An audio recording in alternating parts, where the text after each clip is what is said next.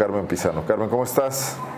¿Qué tal, Arnoldo? Bien, buenas tardes. Buenas tardes. ¿me escucho bien? Te escuchas muy bien, sí. Ok, gracias. Es que todavía estoy en un foro del... Sigue el foro.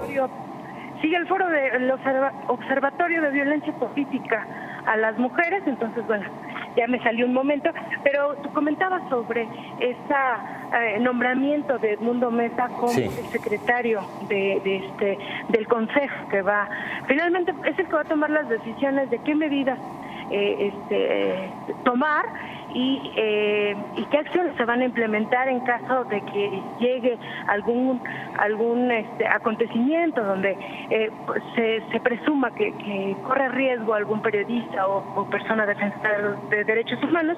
Y bueno, pues esto nos comentaba el secretario de Gobierno que la designación se hizo después de una convocatoria que se lanzó de manera interna en la Secretaría de Gobierno porque corresponde a la Secretaría de Gobierno, eh, este, corresponde a un funcionario de la Secretaría de Gobierno tener este cargo.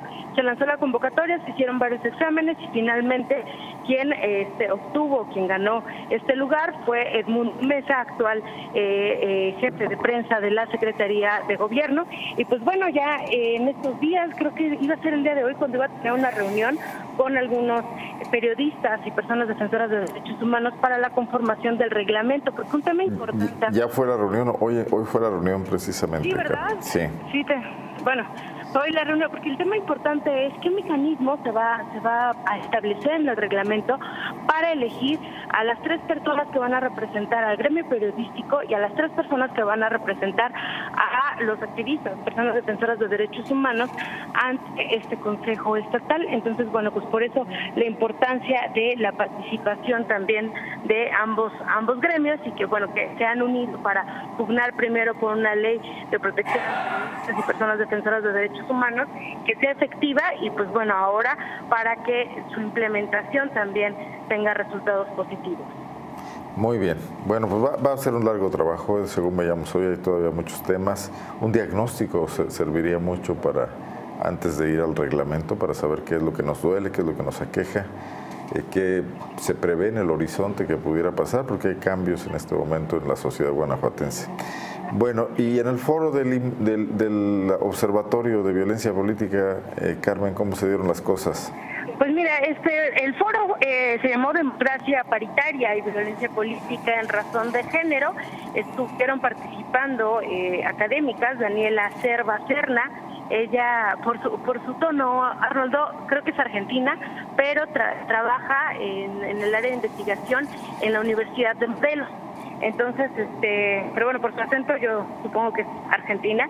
Y María del Rosario Varela también académica y, este, y, estuvo también Verónica Espinosa, la periodista Verónica Espinosa en este foro y comentarte que, que, dieron aportaciones interesantes, me parece. Por ejemplo, en el caso de Daniela Cerva, ella considera que las legislaciones en, em, en, busca de acciones afirmativas en materia de género terminan vulnerando más a, las mujeres porque este bueno ella ella ella preguntaba decía que eh, eh, cuando se hace una legislación como que se está obligando a la, mujer a demostrar que tiene capacidad para que pueda este, eh, estar en un puesto de, elección em, de elección popular y, y bueno esta, esta era como como su Dice ella que con estas reformas, perdón, se intensifica la discriminación y la violencia. También se intensifica la, la, violencia al interior de los partidos políticos, porque todavía existe mucha resistencia a postular a mujeres. Entonces, bueno, esa, esa es la aportación que hacía ella. Pese a la ley, ¿no? Eh, ¿Perdón? Pese a las leyes de equidad. Exactamente, y en el caso de Manuel Rosario Varela hablaba, eh, presentaba gráficas, presentaba estadísticas, donde si bien México no aparece entre los países con menos eh, porcentaje de avance en materia de paridad, eh, sí estamos en los últimos en los últimos lugares. estábamos, de acuerdo con estadísticas internacionales, estábamos en el 2016 en el, en el lugar número 66, pero en el 2017 caímos al número 81, o sea que hubo un retroceso en esta materia, aunque hay estados donde, por ejemplo, Coahuila ya tiene el 52% de sus legisladores, bueno, ya son legisladoras, el 52% son mujeres. Sin embargo, la, la presidencia de la Junta de Gobierno del órgano máximo la sigue manteniendo un hombre, aunque hay más mujeres. En los espacios de tomas de decisiones y ella era muy muy muy clara en esto, las mujeres seguimos este, rezagadas, incluso me llamaba la atención en las estadísticas y también en los medios de comunicación, Arnoldo, ella en las estadísticas que presenta dice que eh, en medios de comunicación 50% son mujeres y 50% son hombres, pero... Los directivos en los directivos exactamente solamente el 39% lo ocupan mujeres y el 61% lo ocupan los hombres. Entonces, bueno, ella presentaba una serie de estadísticas muy interesantes y en el caso de, de, Vera Espinosa, bueno, ella planteaba cómo todavía tenemos grandes retos en los medios de comunicación para incluir el tema de género. Este, hacía referencia a una columna que se publicó hace tiempo en un portal nuevo, lo digo así completamente. Sí, sí, sí. Bueno, eh, en 8 eh, News, el de Pablo César Carrillo, recordarás aquel enfrentamiento entre eh, Azul Echeverry cuando se, se puso un tuit donde se hacía referencia a cómo había conseguido la candidatura. Sí, sí, después, sí. Un tuit de Verónica García Barrios. Así es. Entonces hace, hace esta, este Pablo César Carrillo una columna eh, haciendo o mofándose de, si había sido a través de las nalgas, ¿no? Como el tuit que, señalaba Verónica García Barrios.